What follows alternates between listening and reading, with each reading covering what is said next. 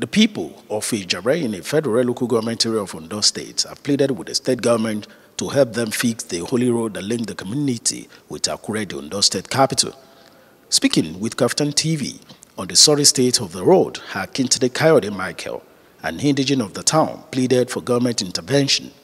Uh, the road is in a very bad condition and we've already cried to the government to help us to, even if it is reconstruction of the road, because before the journey time of this road is about nine minutes to Akure and it's very close to the capital.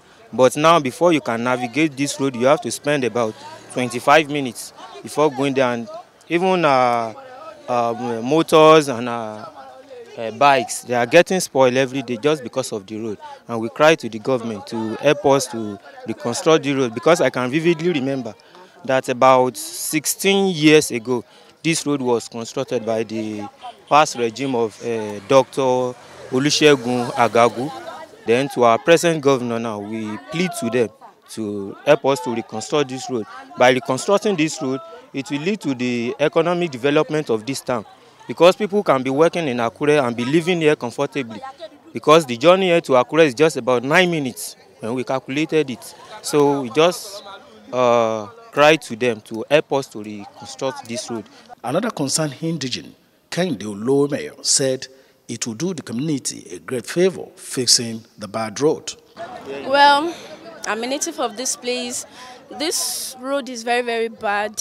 And about the vehicles and everything, everyone is complaining, especially when it's rainy season. This road is not good. The malls and everything is really spoiling the, the roads and even some vehicle got stuck on the way sometimes. The government, please, really, really need your help. Come and fix our road for us. Please, if you can do that, we'll really be appreciative. Another motorist also gave his voice on the condition of the road. Ah, it was bad, very bad. It's not good at all. It's not good at all.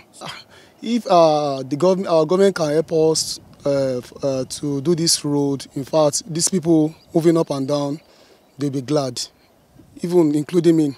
From Ijabre, in Ifedore local government area of Ondo State, Temi Tope Adedeji, reporting for Kaftan TV News.